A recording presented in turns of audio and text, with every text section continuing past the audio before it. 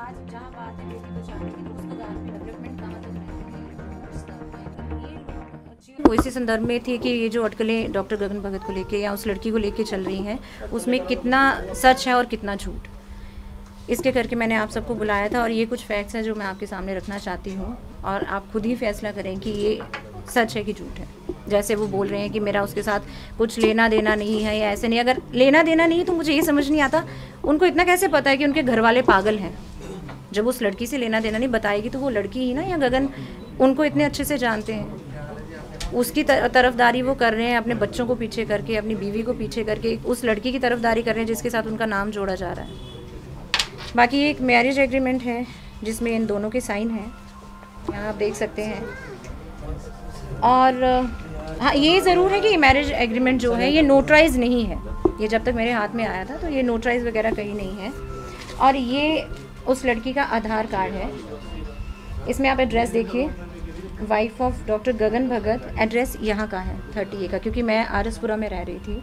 Address thirty ए का, और इसी आधार को मैंने ये देखने के लिए कि फॉर्ज और क्या है, मैंने पता किया था, ये इसी आधार कार्ड के बेसिस पे जे के बैंक गांधीनगर में इस अकाउंट का इन्होंने अकाउंट खोला है इस लड़की ने। गगन के मतलब इनका जॉइंट अकाउंट है शायद, और नॉमिनी गगन ही है। तो ये चीज़ें आप खुद बताएँ कि अगर उनके साथ इनका कुछ लेना देना ही नहीं है तो ये चीज़ें कैसे?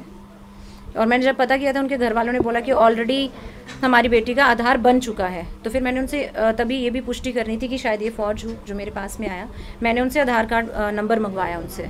तो आधार कार्ड नंबर सेम था, उस लड़की ने सिर्फ़ एड्रेस चेंज करवाया। है मतलब ये फौज नहीं है, उसी के बायोमेट्रिक्स हैं। आप क्या डिमांड करना चाहते मैं यही डिमांड करना चाहती हूँ कि जैसे ये चीज़ें ये बोल रहे हैं कि ऐसा सब ये गलत है, ये झूठ है और इससे ये मुझे और मेरे बच्चों को जो मेंटली टॉर्चर हो रहा है, जो हरासमेंट हो रही है, उस चीज़ से मैं ये चाहती हूँ कि जितनी जल्दी हो सके इस चीज़ का निपटारा करो।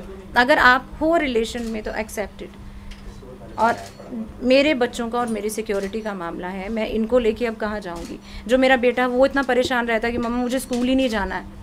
क्योंकि ये तो अभी छोटी है, इसको इतनी बात समझ में नहीं आ रही। मगर जो मेरे बेटा है, वो इतना परेशान रहता है। बस यही है कि ये चीज़ें जल्द, जल्दी वाइंड अप करो। अगर एक बंदा इन्फ्लुएंशियल है, उसका मतलब ये नहीं है कि वो कुछ भी करेगा। क्योंकि आप, हम लोग ही हैं। अगर वो एक रिप्रेजेंट कर रहे हैं कॉन्स्टिट्यूंसी को, वो फ़र्स्ट मैन है वहाँ के। अगर वो ये सब करेंगे तो लोग जो बाकी ऐसे कुछ शरारती तत्व है, वो उन्हीं को फॉलो करेंगे।